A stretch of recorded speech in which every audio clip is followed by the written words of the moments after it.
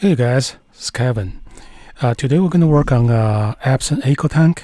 We get a weird problem that uh, the customer uh, reported that she can get the first page print perfectly and uh, the second page will be clogged and she's going to see the stripes or uh, like pretty much lack of ink so the second page will be clogged I made this video just want to show you that not all clogs need to be uh, flushed.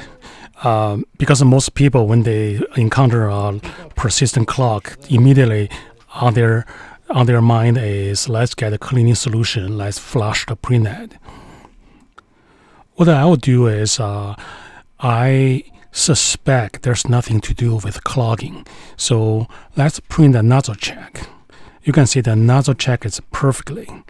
Uh, you got every line clear and uh, uh, don't miss uh, uh, uh, don't forget to check the yellow line. The yellow line is hard to see and but if you hold at the angle and you can see every line is there. So there's nothing wrong with the printhead so stop stop troubleshooting the printhead your problem probably is the ink supply when they check inside, for this model, to be able to open it, you have to remove the two screws on the far left and the far right. This one on the far left corner, and uh, not this one, okay. There's one on the really far right, right here. Okay, so remove those two screws. Don't mess with the middle two screws. When you lift the cover up, uh, do it slowly and uh, only lift up this much. Let me show you why. If you lift up too high, you might jerk off those those three cables.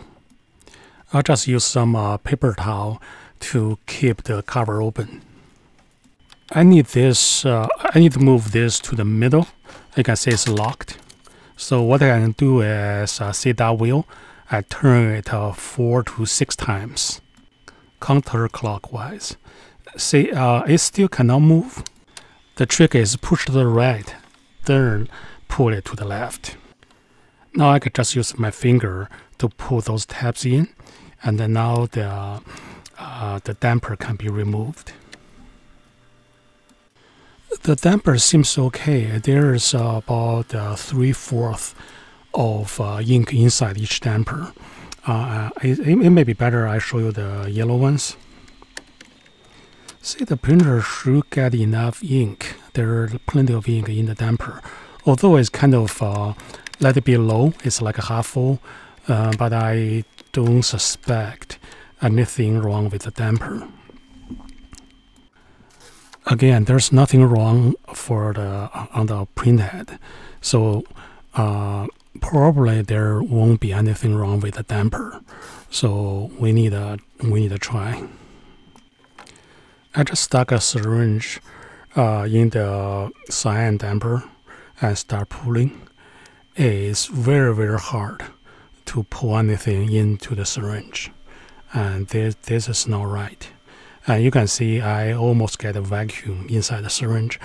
Normally, I should feel really smooth uh, ink flow into the into the syringe. Uh, same as magenta. So when I pull, I almost get a 10 mil of uh, vacuum. Uh, the same as yellow. And uh, I'll, I'll use yellow. I work on the yellow first because it's easy to see.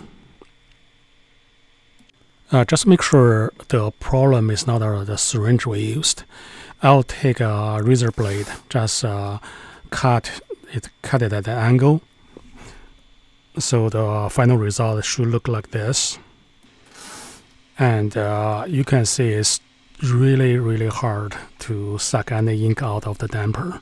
So if this is your printer it has no problem to suck off a little bit of ink. After that uh, the, there will be a vacuum inside the damper. And uh, you your printer will starve uh, starve with the ink. So it will show you clogging or just no ink at all Okay, let's see if the problem is the tube or the damper. So if I, if I remove the damper, uh, it's hard for, for me to insert the syringe into the tube. I'll use a adapter. I'm going to put uh, the link to the adapter above in case you want to have one.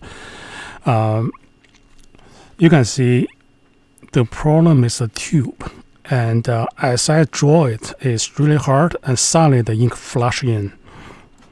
So there are, there are kind of clogging or kink in the tube uh, that are just fixed by uh, by draw lots lots ink out of it and uh, you can see the ink can flow nicely into the damper. However, for the cyan tube, uh, no matter what I try, uh, I cannot unclog it just by sucking. Uh, you can see how we did is uh, we start with a printhead, then we troubleshoot backwards.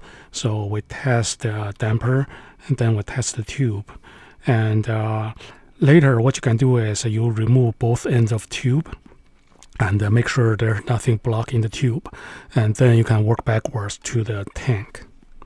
Oh, I forgot is when you do this, make sure you lift up the, the refill plug first, open it, and uh, then, then you discharge the ink this way.